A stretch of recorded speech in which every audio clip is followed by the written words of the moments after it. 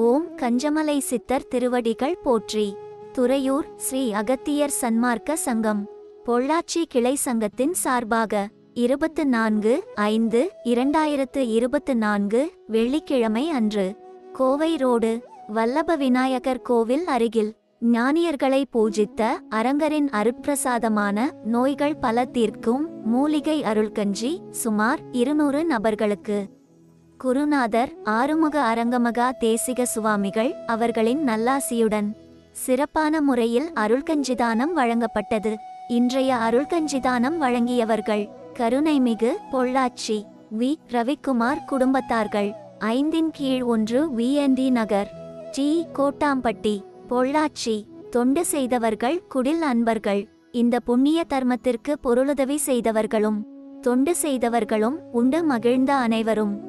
வாழ்வில் எல்லா நலமும் வளமும் பெற்று இன்புற்று வாழ வேண்டும் என்று ஓங்கார குடிலாசானின் திருவடியை பணிந்து பூஜித்து வேண்டிக் கொள்கிறோம்.